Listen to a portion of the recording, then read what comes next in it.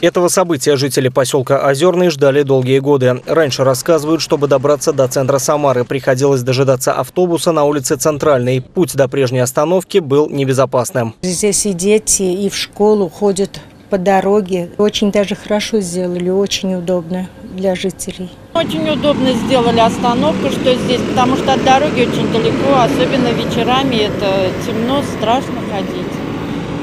Я довольна. Изменения в нескольких маршрутах, которые действуют уже с 1 августа, были внесены по поручению главы администрации Самары Олега Фурсова после встречи с жителями поселка. Нами была разработана схема организации дорожного движения, после чего Департаментом благоустройства были проведены определенные работы по обустройству тротуаров, э, установке дорожных знаков, пешеходного перехода, остановочной площадки и установки павильона.